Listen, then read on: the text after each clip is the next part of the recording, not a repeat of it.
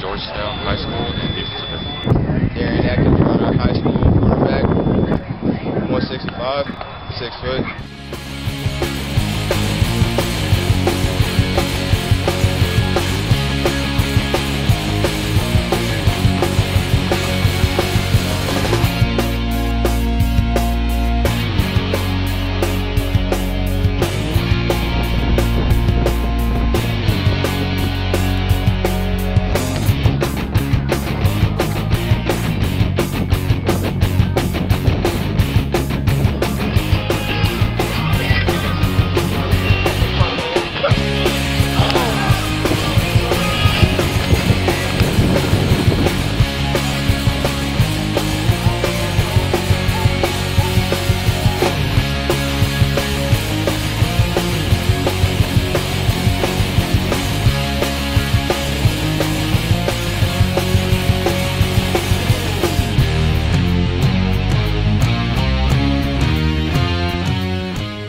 Uh, they're they're going good. We uh just finished off season not like maybe two weeks ago, and we're working on our offense defense, and we start we put on pads Monday, so I'm pretty excited about that.